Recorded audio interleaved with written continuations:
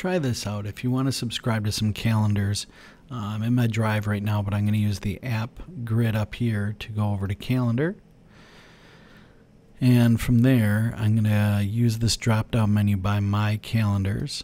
And, oh, that's not it. I'm sorry. We're going to go down to other calendars. And I'm going to browse interesting calendars.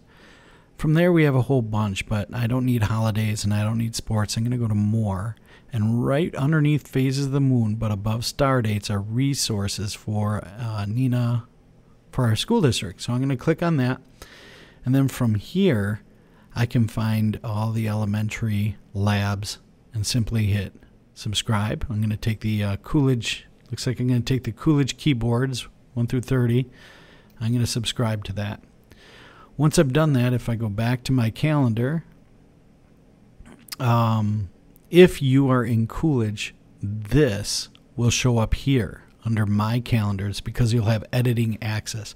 Because I'm not at Coolidge, mine's down here where I can just view it, but I cannot actually create an event. If I wanted to create an event, I can do this. Just click and create one, and then uh, if I have access, it'll show up in here. So I can use Coolidge keyboards 1 through 30, but I, I, I, am not there, so I don't have access to that. Um, but let's check and see. It should show up underneath my calendars if you do this right. I'm actually going to go back and uh, unsubscribe to this now. Hope this helps.